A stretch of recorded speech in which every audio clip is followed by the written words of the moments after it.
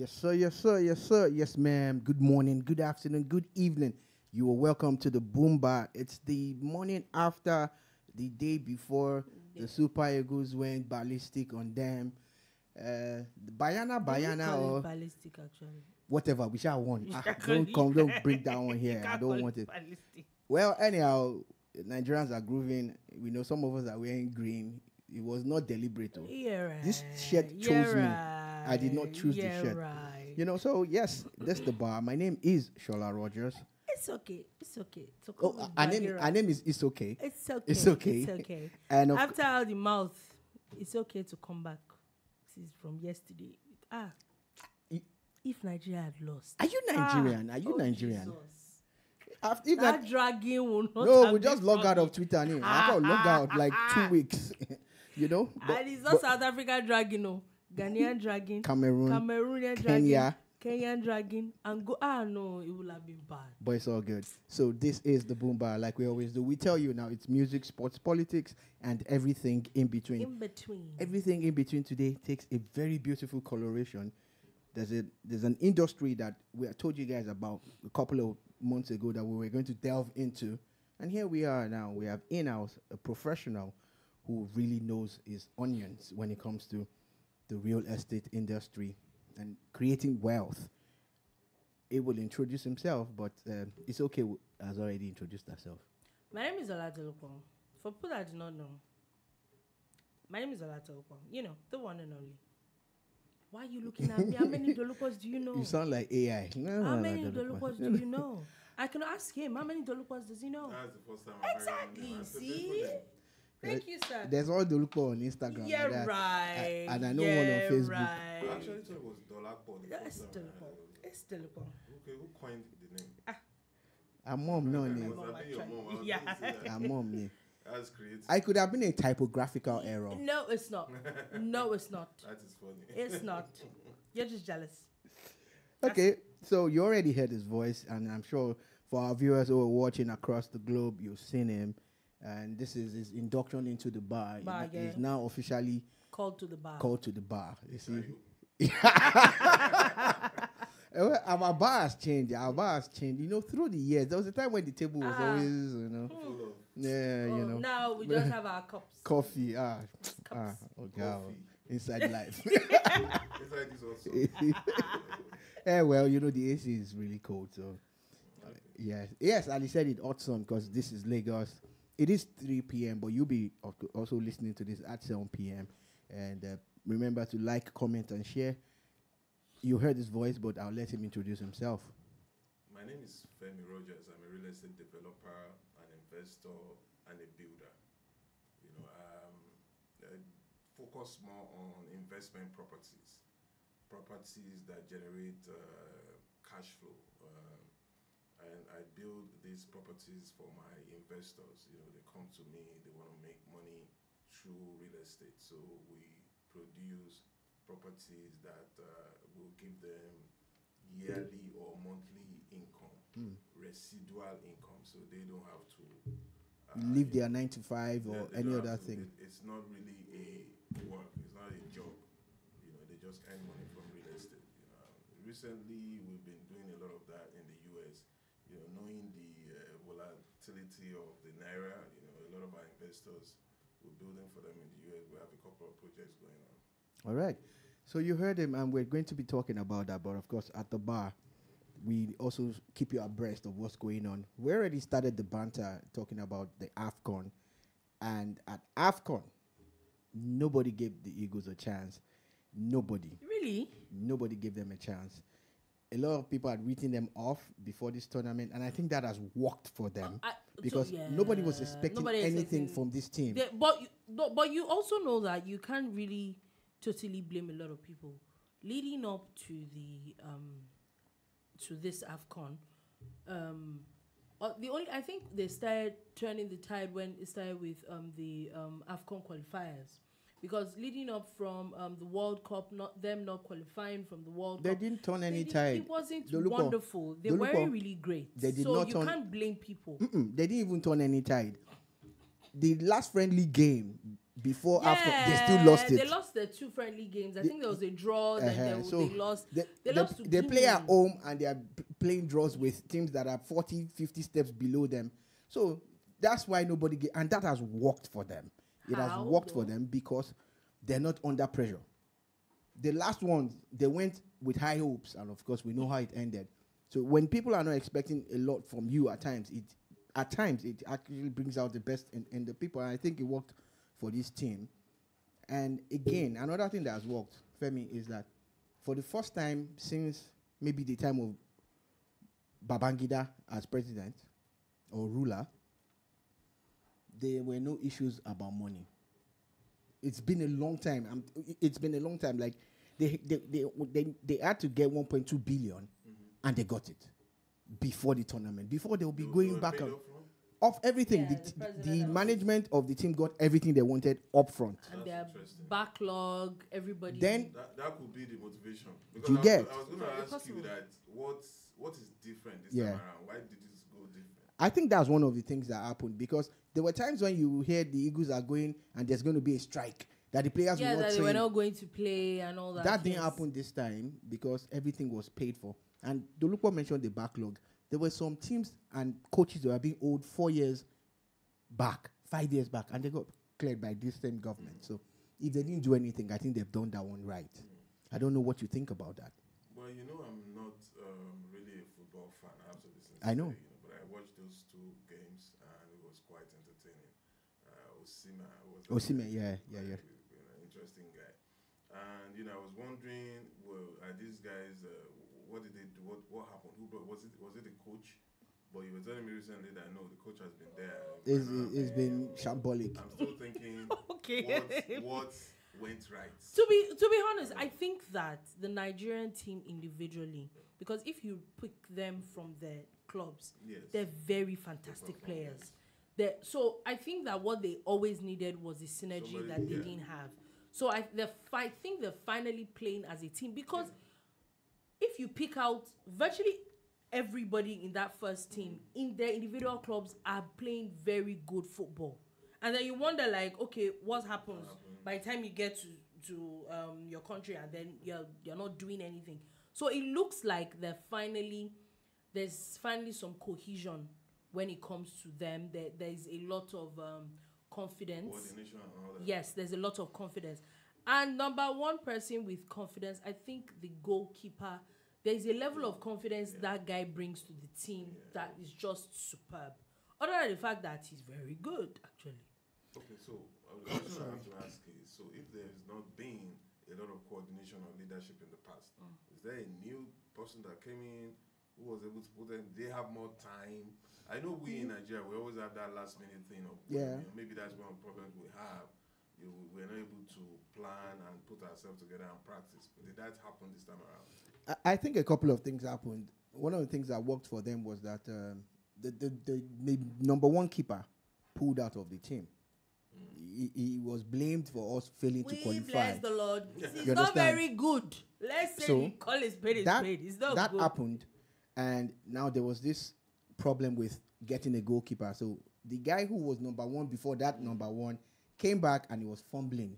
You get, and people raised a lot of noise. Like, no, look, there are other goalkeepers around. There are two home-based goalkeepers that were invited. One of them finally made it to the team, Ojo Olorunleke, who's been a great guy, you know. But there's Nwabali Stanley, who is based in South Africa, Chippa United. He's doing very well. Give him a chance, and that was it. That changed that angle because Yeah. we stopped conceding those cheap goals. We, we were conceding very disgraceful goals. That's one. Two, changing the system from the regular 4 4 2 to a 3 5 2. You get 3 plus 5 is 8. 3 5 2, yeah. Before I make a mistake on that, you know. So, what a 3 5 2 means is that instead of two central defenders, you have three. So, those central defenders stay back. Then your wing backs will play defense when you are under attack. That means you now have five defenders when you are under attack. But when you are going forward, those two guys will join the attack. So strategy. So strategy that changed, and yesterday it did not work, and It that's the work. problem It with didn't. coaching. Like you used it in the second game, third, fourth, It's game. obvious that South In the- Africans by the had fifth time, seen. you should have changed. They already know, They already know how- South what Africa you- ready. strategy. I'm frustrated. And what South Africa did was a 5 4 1. You have three, we have five. So they have five standing defenders. You can't breach that with two. You get so South Africa will always punctuate your attack and hit you on the counter. That's what happened yesterday. I sat back, looked at that game. I'm like, is this coach blind? Change your tactics. Change now. You know, so going forward, I'm hoping that in the finals, he doesn't come with this 3 5 2 again. He needs to change it It needs it. completely. It's, it bec- He it's becoming it. predictable. Yeah. But please, I, special mention: Nigeria's goalkeeper is fantastic. Mm. Yeah, Stanley Nwabali. He's the game changer. Yeah, he is. It's fantastic. He is. There's He is. nothing anybody But can say. finally, they're playing as a unit, playing as a team. But I want to say something. It might sound like conspiracy theory. So, first things first. Victor Osimhen has scored about two or three goals in this tournament, and most of those goals have been cancelled. There's sure some VAR something that you'll find, and then yesterday, one of those goals were was also disallowed. Am I the only one that thinks that they were really trying so hard to make South Africa win that game? I felt that it was unnecessary. Um, they it, there was the goal was not offside. They just said that they had there was something wrong and they they had not blown or something funny like that. The bottom line that is is that he scored, but you cancelled it and then gave the other team a, a what's it called a penalty. okay. Keep in mind, the current president is South Africa. No, I'm just saying. Yeah, y- you know, uh, from the days when we had Issa Hayatou as the Cameroonian who was the president of CAF, I did not want to leave. and every time Nigeria played them, we lost, especially in the finals. So that's a conspiracy theory that Dolupo is putting out there. I don't know about it. I was just saying. Her name is Dolupo. In case you people want to take her I was just saying. she's the one in black. Okay, um, he's wearing black too, but she is she. me saying. I've said what I said. All I'm right. just saying. Anyway, Sha. So there are other moving on. stories. Also, before we leave that, um, Nigeria is now going to be playing the host, Ivory Coast. That is another team from the get. After the group stages, people had written off. They almost did not even qualify for the round of 16. Now they're into the finals. With what they played with Nigeria the second game, do you think Nigeria would beat them easier than We beat them at this tournament, and one of the reasons why they sacked their coach during the tournament and got an interim guy. But one thing that they have going for themselves is the home support. Yesterday, Nigeria, South Africa, there were over 21,000 Ivorians supporting South Africa against Nigeria. I'm not surprised. Yeah, It so- will have happened. So, picture on Sunday at the stadium how many people, because Yeah. anytime they are playing a game now, it's a public holiday in their country. They just want it to shut down, Joking. shut down everything. Now it's a Sunday, so you can imagine that means there's no church, no nothing. Everybody's just going to the stadium anyway. against their favorite enemy. But historically, every time we beat them, the last three times we won Afcon, th- they were one of our stepping stones historically. So, hey, Côte Okay. Côte we'll d'Ivoire, see. au revoir. Au revoir. Anyway, which way, let's move on from that. And um, let's go on to something else before we go into our topic of today. There was a judgment that was given um, a couple of days ago, which I think that we need, it needs, there's a bit of conversation that needs to be had about it. And it is the um, a court had ordered the federal government, in fact, given the federal government seven days to um, fixed prices of a couple of things. Um, the fixed prices of um, goods, mainly milk, rice, um, up until bicycle and its spare parts, um, cars and its spare parts, and petroleum products. Sorry, I didn't get that. The the judgment was The judgment had asked- the federal government to Oh. set prices for Oh, okay. essential goods and fuel okay. within seven days. okay. So, a federal high court in Ikoyi had ordered the federal government when the human rights lawyer Femi Falana had um, challenged the government's inaction on price control, Okay. citing that there's actually a law um, to this effect. So, does it with what's happening in Nigeria right now? How viable is this judgment, or will this judgment make sense? Be- before uh, Femi responds, on that list of items that government must fix prices, milk, flour, salt, sugar, bicycles, motorcycles, vehicles, and of course, fuel. Okay. So the judgment is saying They they must should fix. control. Yeah, yes, the they have to fix Is prices. Is an existing law. And before it- now. Yes, there is um, a section four of the Price Control Act. This apparently must be an old law. Very. Not very, o- very, very old actually. It's um Price Control Act um of two thousand and four. Uh, 20 So- years ago. Yeah, but not as like not old Uh, like That that. was in the 60s. Picky where they born 20 years ago, don't born Picky, no. No, I get what you're saying. I'm just saying that. Minister. Uh, you know. Oh, So, so that's what it is. Your, your take on this? Um, I don't think it's a big problem really because um, if you look at it, are they are they telling the government to reduce prices or to fix a lower price? They have not True. said they, they have not given. The, Okay, take it to saying- one they're just naira. Fix. fix a price. So if the government wants it to be sold at hundred dollars, at hundred naira, That's what the law says. put it at hundred naira. It doesn't really make a difference to the government. Okay. Right, So, because you are not saying reduce it or you know uh, jack it up. You're just saying fix it. The government will just leave it the way it is. You know, let the market rate control it. Today, market rate is saying 100 naira, so 100 naira it be. That's what. So I don't think there's a. So what with the with the market um, deregulation.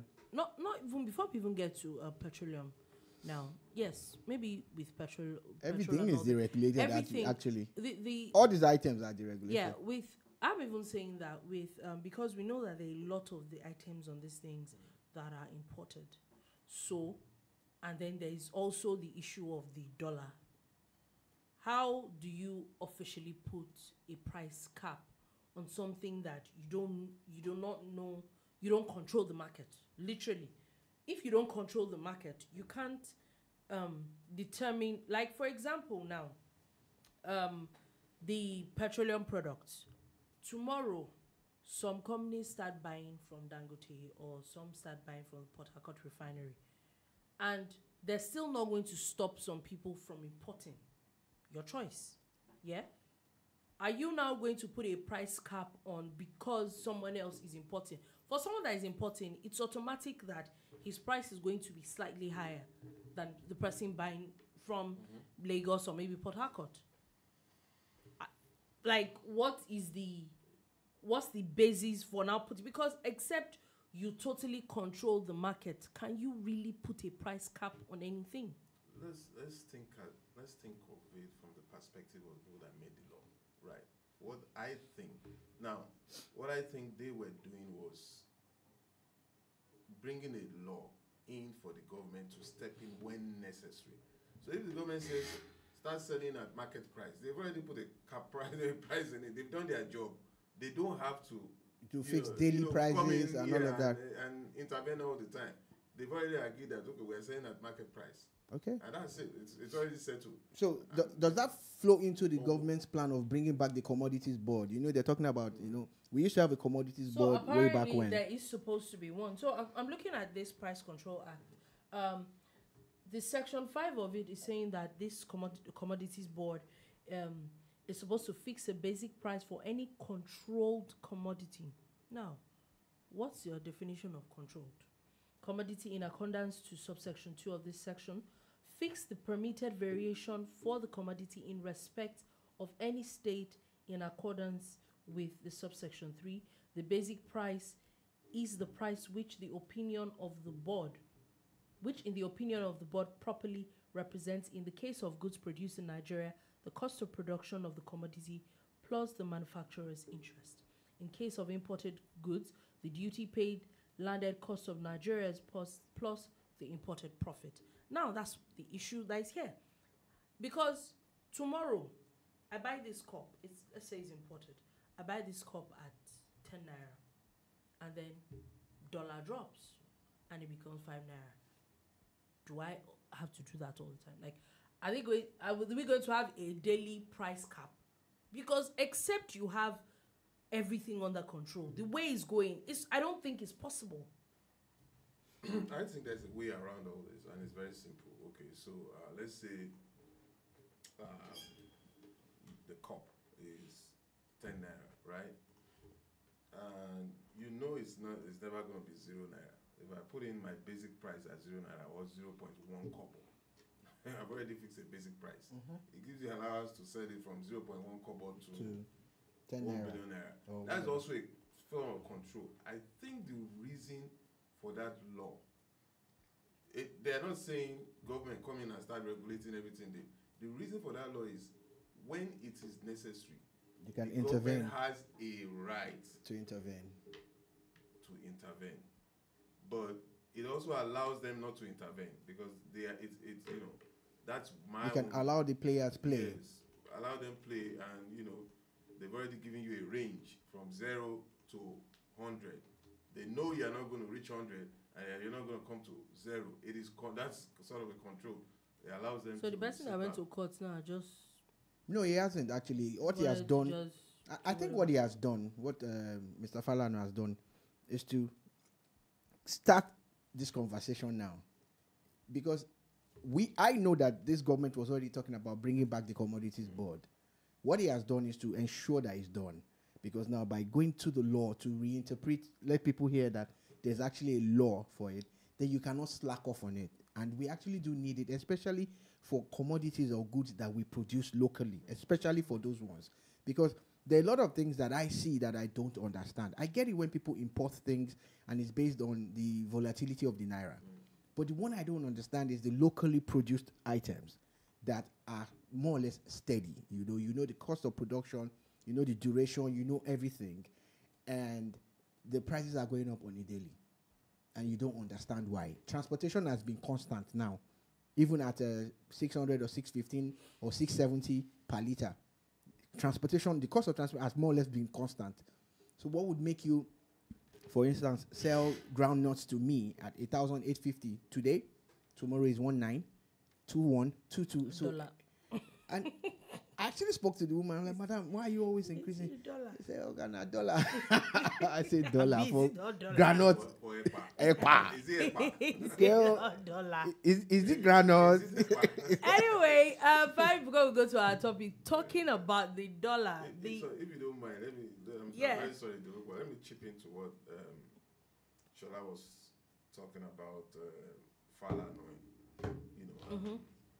Swing. There's something they call auditing the law, and that's what I think he's doing. Hmm. Um, a lot of the laws we have are archaic, and there are people they call auditors. They come in, they test the law. When, when they test the law, you know, the government is forced to do something about it. Like, you, this is what the law says. You must do this, right? And they, they know this does not work at this time. When the government says, "Oh, these people are pressurizing us to do this," they um, they now Move you know, accordingly. move accordingly.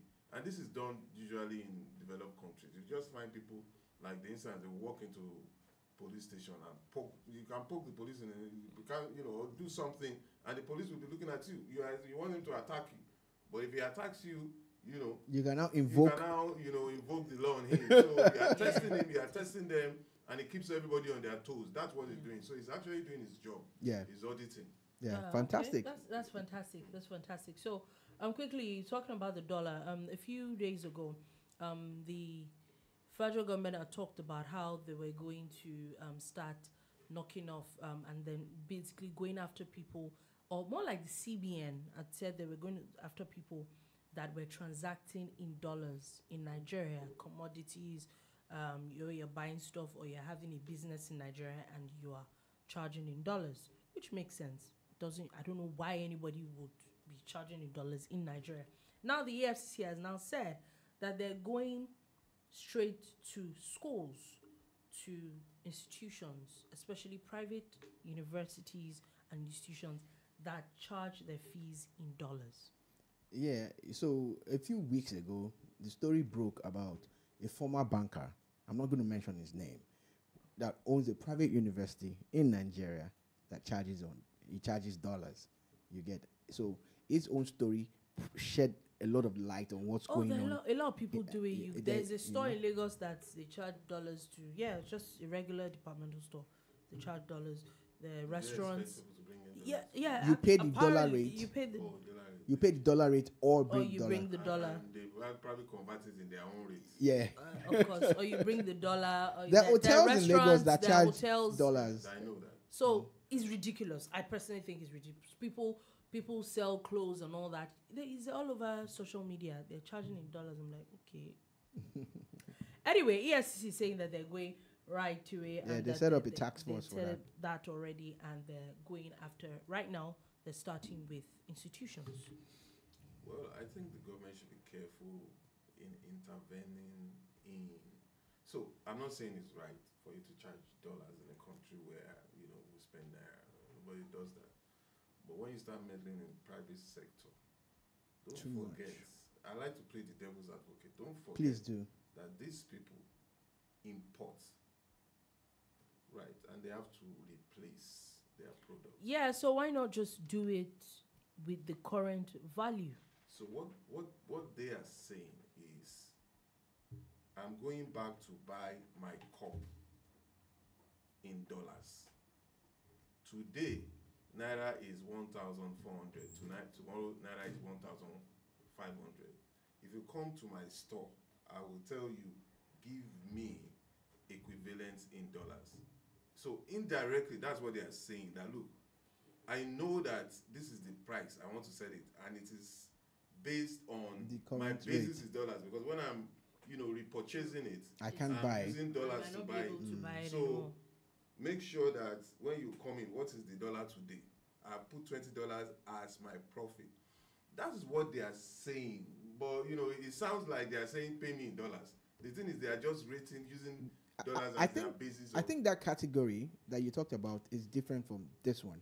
Now, there are some businesses in Nigeria charging dollars, and they are mainly services. services. I was going to You say get that, especially services. So, Now- and that's where the now, problem is. That's where they Doesn't should, make sense, yeah? they should find a way around that. But you see, I, I am not an advocate of government intervening in anything. Anything. Let the private sector deal with Drive, it. driving. If somebody feels that a service is Is not worth- for them, yeah. right, they are and he wants to uh, collect dollar dollars for it. they go to pay. Dollar, okay dollar rate is fine, but dollars, that's what they are saying now. paying That- dollars. dollars. That is illegal. yeah, But using the rates It's is, fine. Is what I'm talking about. It's illegal for you to say, give So me they're- when I know this is naira. Is what they're so talking let about people who are People actually actually like asking for yeah, dollars. you go That's to the you go to the school, you want to pay fees of your You pay in you dollars. have to pay in that, dollars. that, that should be illegal. yeah. So that's what they want to clamp down on. Yeah, I mean, you shouldn't be spending dollars in, in Nigeria, you know. Except so you, except you're at an it's O not one illegal O one to- bear, O one bear when you can. if you spray, yeah, yeah, no, somebody just you went can to jail spray for dollar s- in Okay, it's naira that you cannot spray. It's I mean. naira that you should not spray. So, I, I'm know, not there. Oh. They are still I spraying was it. sha. not there. Oh, I'm You not know? there. Oh. but Nigerians will always find a way. to be- I, I, I, I have um, a way. We have. You can call me. We have a way. You have a way. yeah, we just make our own dummy naira. You know, you cannot tell me not to spray my dummy naira. At least I did it recently. dummy. Yeah, Fake. yeah. Isn't that supposed to be? No, it's paper. It's not naira. It's just paper. I'm just. Yes, I'm selling Must paper to we people. must we spray at all? ah, we must. Must we spray Ejo, at please, It- it's a Ejo, we have to spray. It's your Eh? money. Spray it if you- Ah. it's your money. You can't. That's, That's my question. I- Like, Is it- do we have to spray? We It's this, a Send the money to somebody. excuse, excuse you, the money. Ejo, please. Your- this your O1 money- Bay industry is a multi-billion dollar industry. Ẹ má gbé yẹn wá o. You're allowed to do whatever. Let them spray, oh, please, please spray, spray, you know, but that's what it is. Uh, so we've, we've gone around the news and everything, and you see how we do it. We do it in a laid-back way, but we're giving out a lot of information. We're educating and informing and entertaining. Now we want to step it up. We're still going to be educating. We're still going to be informing, and we're also going to be entertaining. So let's just dive right into our main topic of the day, which has to do with the real estate industry. We want to look at, we want to key into your experience because the reason why we looked at this topic is we were looking for someone who has experience in two different climes. We don't get that all the time, you know. So we're looking for someone who also does the same business. Because some people are into real estate business in Nigeria and they're doing something entirely different outside Nigeria. But you, you're doing the same thing. So we want to be able to draw parallels. The idea is to see where we're doing it right and where we're getting it wrong and how we can improve on it. Because it's not enough to criticize. You must prefer solutions. It's about solutions, solutions, solutions. So in the real estate industry that you are into, first things first is to ask you your impressions of the Nigerian real estate industry, where it is now, and in, in a very short way, where it used to be and where it is now. You see, I see potentials in um, the um, Nigerian, you know, economy and especially real estate, because if you look at it from the perspective of the need, a research I did some time ago was telling me that you know it's only about seventeen percent of Nigerians that own property. 17. Yes. That Wow. Own property. Wow. That is low. That's extremely low. So you have, and th- Wow. that, that research would have been about 10 years ago. I did it. Uh, so you have, the market is available. Wow. People need to own homes. So now the only problem we have now is purchasing power. Yeah. So, but most people don't have the, they don't own their homes. So the potential is there. Is for the government to do what they're supposed to do. That's Okay. to create The an enabling environment Okay, for first of all, for what you said now, you said enabling power. Yeah, people might not have so much of an enabling power, but in your own, um, in what you've seen, do you think personally, and I, I think, do you think that, or let's take for example Lagos, do you think that the real estate market is overpriced? It is overpriced. It is. It is. In fact, the biggest problem um, with the pricing of real estate is they don't have any. They don't. Okay, so it, it takes. It goes into a lot of things, and I, I- don't know where to start from. The people that determine the price are not professionals. They don't even understand Mm. the basics of pricing a property. If you come to meet me and say, I, I, I- get into this kind of things with people in, in Nigeria because when I ask them, agents come to me and say they want to sell this out for 400 million. My first question is, how did you arrive Arrive at at that 400 price? million. 100 They, they can't answer that question. Mhm. that's the problem. So they keep on putting prices and raising prices. Remember when um, the former CBN said one website was one that was causing. Yeah. Yeah. They were just putting, they were just putting prices. Yeah. They just come and decide, okay, you- there is no regulation, there is no basis, there is no model you are using to arrive at your pricing. There are three basic ways you can price a produce to arrive at a The value. value of a property is either you look at the income, you use the income to arrive at the value. So that is usually investment property. Okay, I'm renting it at this amount of money. You can use it to find the cap rate and decide this is what the value is based on how much you are earning earning. from that property. And then is uh, then the second one is the most popular one is the comparison, which we try to do here, but because we don't have data, comparison is okay. Shola sold his own for hundred thousand. I'm next door. I'm selling my own at hundred thousand. Comparison, but the problem is Is it the same thing that you have? Value. Shola doesn't. Apart from the fact that I don't know how many square footage, I don't know Yeah, what finishing. you know, exactly. I did, I'm not even sure Shola sold it at 100 million. Shola could have sold it at 80 and he's saying I sold it at 100. 100. There's no Mm. data that shows, Shows that. exactly. Everybody's just doing guesswork. So even comparison itself is not. It's uh, faulty. It's not empirical. yes. Yeah. So then um, the last one is uh, cost. So I mean, we, we cost it and say, okay, look, this is it cost me a hundred million to build this property. I want to make thirty percent on it. I'll say I want one and thirty. Those are the three basic ways you can use to value a property, right? These people don't know, understand. They don't. They just come up with a price on their head and say, I want to sell this property for five hundred million. Okay. Okay. Um, where's the place of estate valuers in all of this? Those are the estate valuers are supposed to be doing that, and I think they understand it. Uh, but I, I don't think people.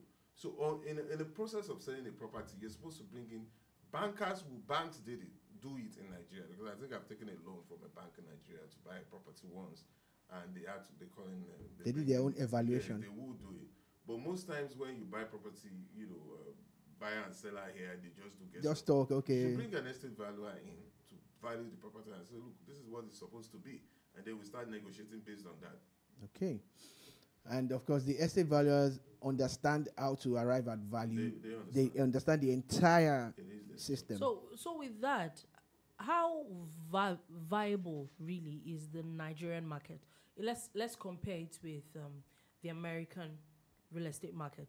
How viable is it? Like, okay, if someone wants to go into it now. Would you rather because putting a lot of things into um, consideration, um, what, where would you say makes more sense?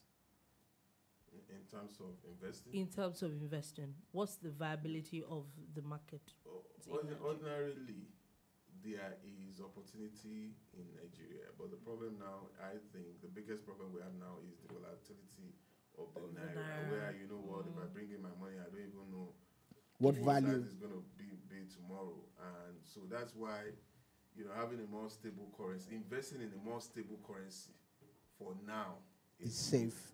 But there's still opportunities. There's still a lot of opportunities. We should, uh, and that's why you know I, I keep on putting my eye on in in a country in Africa and Nigeria a whole. There is still opportunity. There is so much to be done.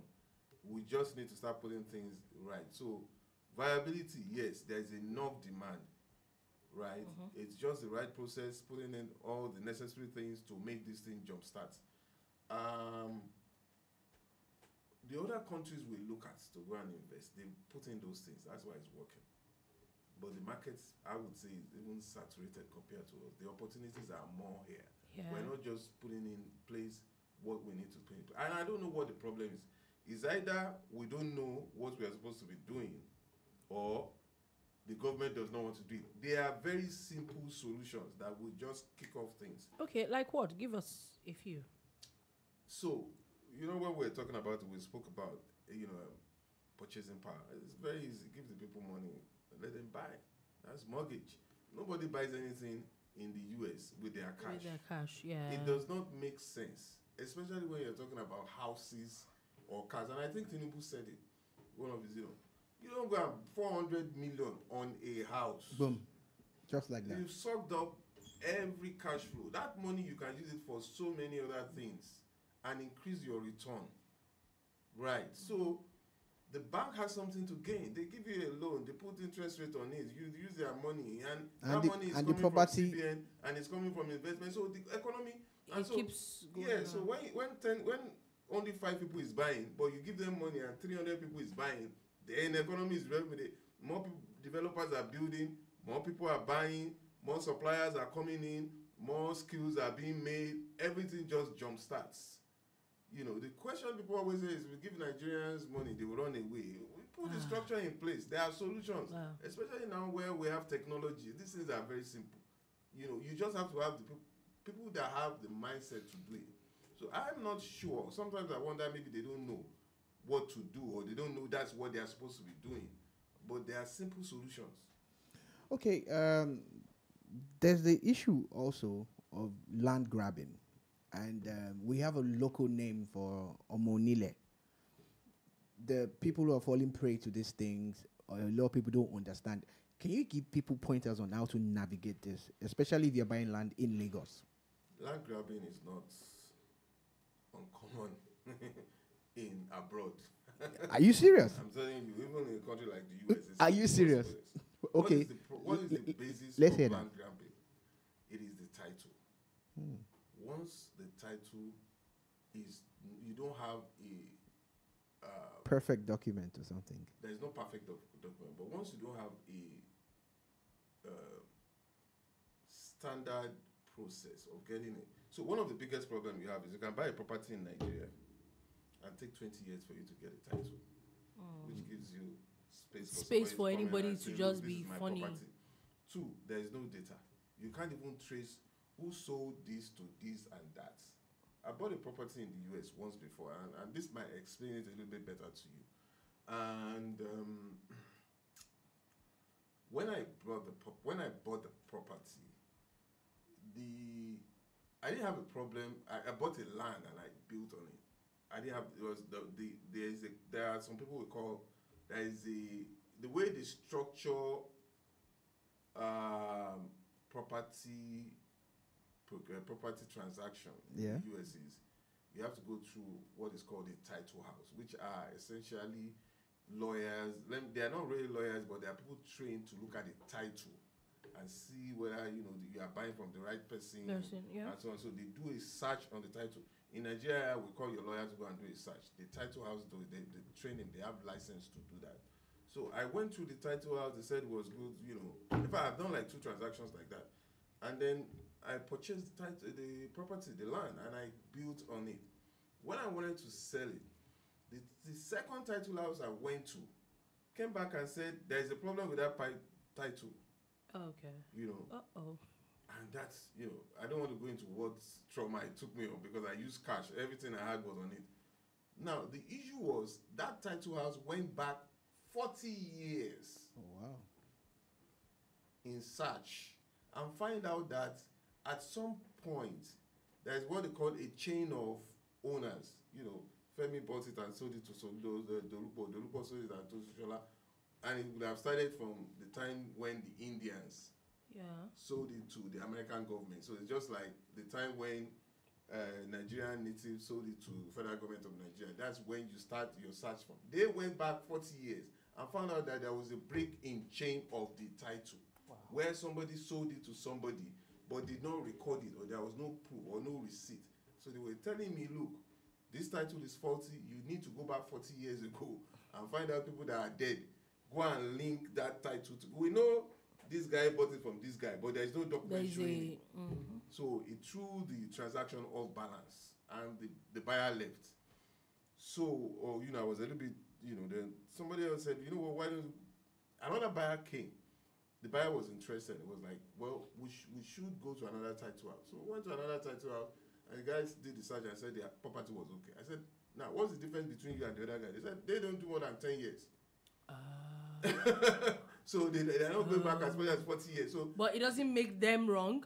You're just not doing as much as So- they're doing. there's no perfect document. If you really want to find a fault with a title, You will. There will you will always find be something. Somebody can come in and I bought a property in Abu- I have a property in Abuja right now that I bought. And suddenly I went there one day and I found them building Ah. planting trees and all that from federal government.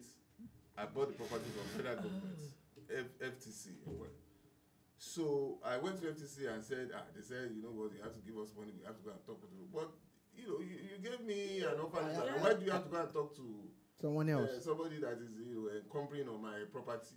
They said, well, as at the time when the federal government came into Abuja or something, they didn't settle everybody. So there is a flaw in the title. So imagine there is a flaw in the title in FCT.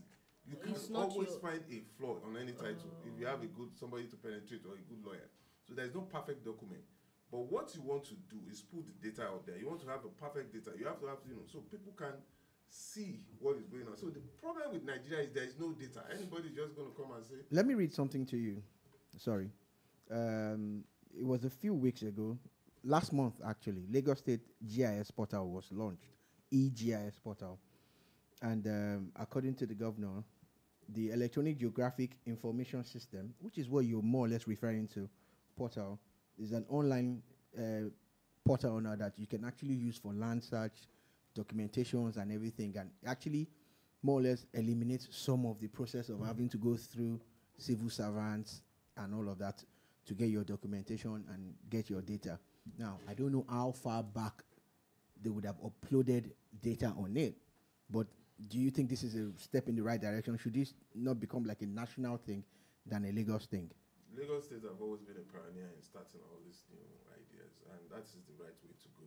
Um, so data are not, you know, you don't comprise, you don't put together data in a day. As you It go takes by, time. It gets, they, It they gets get on better. building up on the data and all that, and it gets better. So yeah, they've started on that, and then they'll keep on improving on. on that. According to them, it reduces processing time. Like you said, it takes decades or Decades, years. yeah. So And governor's consent too can now be sought online. Yes, so even before I buy a property in the US, I can do, I know how to do a lot of search to know, you know, if who I'm talking to is the owner. real owner. I've seen before I go to a title house. So you should make this data available. So it makes all this kind of problems. So if you come to me and you're saying I own this property and I search it, and you are not, I won't even start conversation with you. But in this case here in Nigeria, you don't even You know don't know. No, You don't know. you That's don't why know a lot you of are people uh, just sell one land to like four or five different people, and Ah, it's And you will go to that community and you'll be saying, Do you know this guy? Ah, wow, He's it's the owner. the They owner. don't- They, they don't know that not the owner. They say, "Oh, guy, you- Ah. you know, they just assume it's the owner, you know. But data does not lie. Like, you know, if, Mm. so once you put in that in place, uh, that's that's going to help. And, and and there's one other big thing I noticed that we need to put in place, and this is part of where, you know, it's also bringing a lot, it, it bringing confidence to real estate transaction and also helps other industry to make money. So the ti- the people that do the title search, they also give you insurance. Okay. And insurance is expensive. So they go back to the insurance company.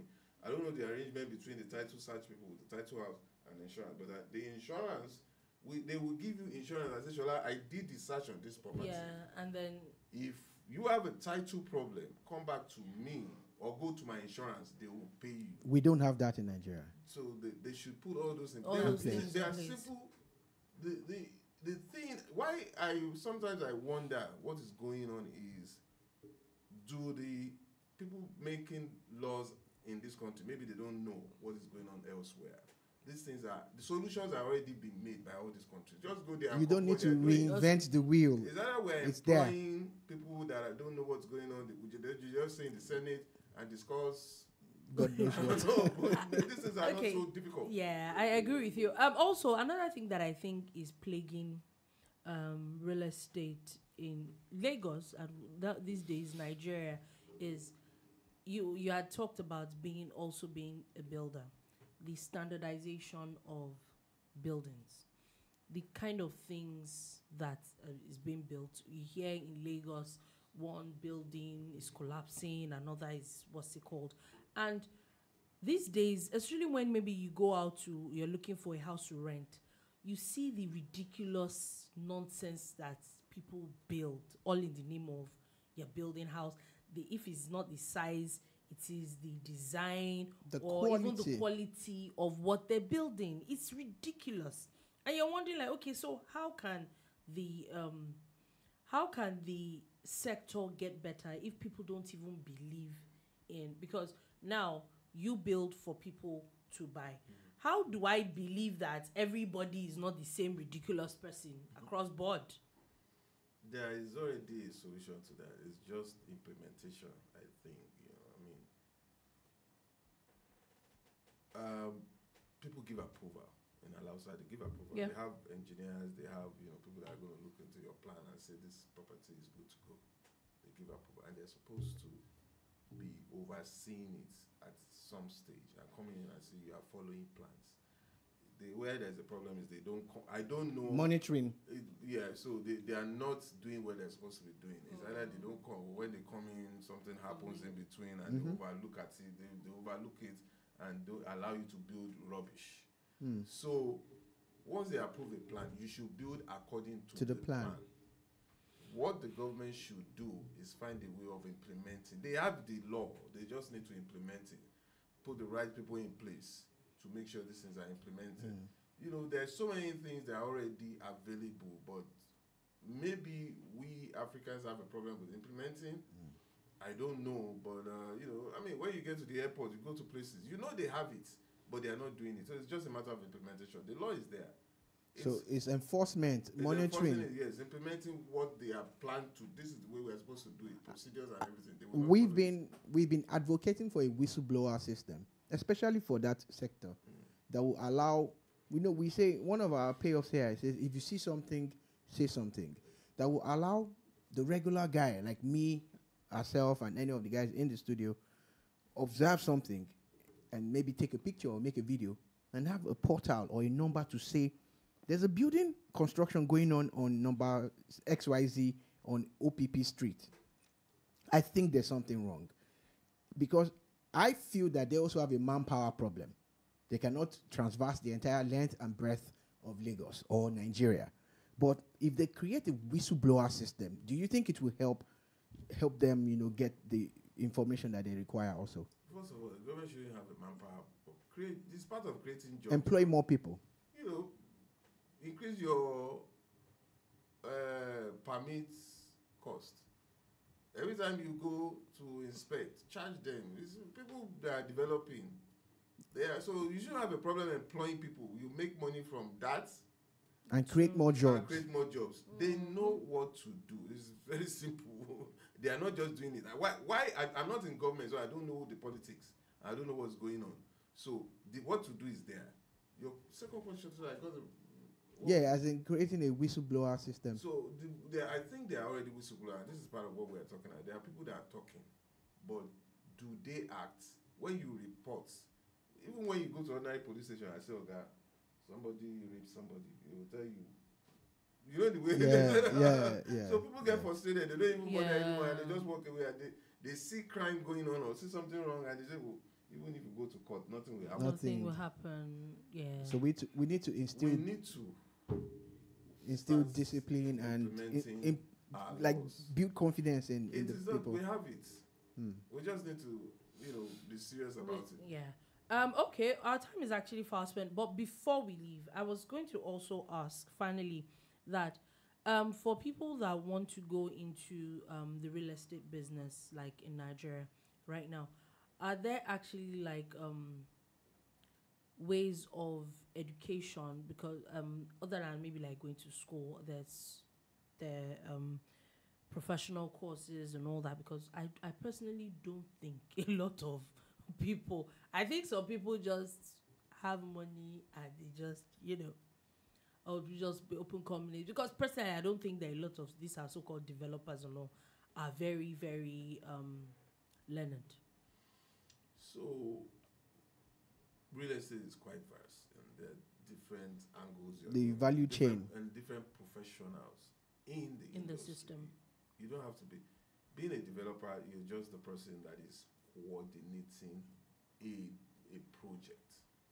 Yeah, like the project manager. You know, put, bring in the funds, bring in the builder, bring in the design, bring in, and making sure everybody does. So, I don't think you need a license or you need to be educated to do that. It's just like somebody starting a business. Now, if it is not a professional business, if you are not starting a law firm or you are starting a, again, you can own a business and Yeah. put professionals to run it. That's that's what developers do. But then you have engineers; those have to be licensed. You have, you know, Architects. architects. You have every other professional in it. Masons, So, all sorts. Yeah, it's all going on. Then there is enough data, there's enough information out there for people to educate. A lot of the developers, like you said, Dolupo, they don't really understand a lot of things. They just get Yeah. in there and say, oh, I have money, let me do it." Yeah. They have, I went into a property in Lekki yesterday. I was sad and I thought about it overnight. this guy would have spent 700 million or 800 million on his property. It was rubbish from design stage. You know, I was interested and I said I wanted to inspect. The first thing I was like, why have you not sold? This thing is completed. From the outside, it looked okay. But when I walked in, the layout was horrible for a property on Admiralty Wow. phase one. The layout was horrible. It was I can't think who the architect is. Is a crime. he should be arrested. Wow. He, everything was wrong. Staircase were narrow. You know, I, I just I don't even know where to start from. And this guy has spent a lot. So the thing I thought was that when they were designing, didn't you look at the design? When they were constructing, using your money, did you not go to site to? So the developer must be somebody that does not know anything. He did not, you know, increase his knowledge or he did not learn. These these things are here. You can learn a lot of things. You know, just just going on the internet and you know how to oversee this kind of projects. All right, I, I like Dolupo said because we've not even scratched the surface. For me, there are a whole lot of stuff. I, I- we wanted to talk to you about skills in the industry.